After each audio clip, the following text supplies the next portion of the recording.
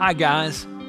I hope you're able to carve out some time this week to reflect on all that happened between Palm Sunday and the resurrection of Jesus Christ.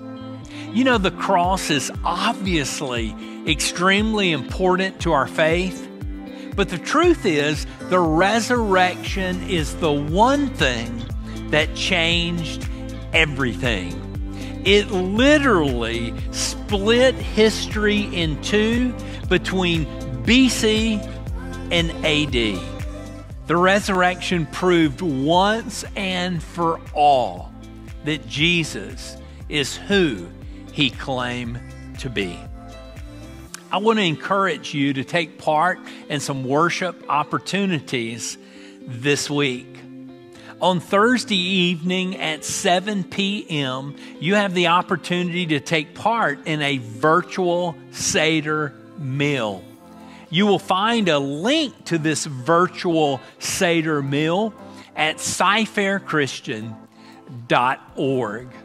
You know, when we consider the Passover feast, when we consider the Seder meal, and look at it in light of the sacrifice of the spotless Lamb of God who died for our sin, we see rich, vibrant symbolism. In addition to the virtual Seder meal, uh, I hope that you would join us um, for our Easter Sunday worship celebrations.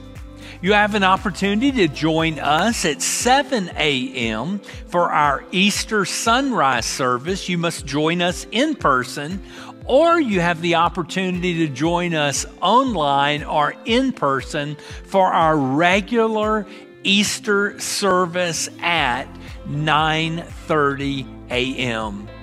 Regardless of which service you choose, you will find, you will hear the same encouraging message on the resurrection of Jesus Christ. Guys, I hope that you will choose to join me and lift up our risen King this Sunday. God bless.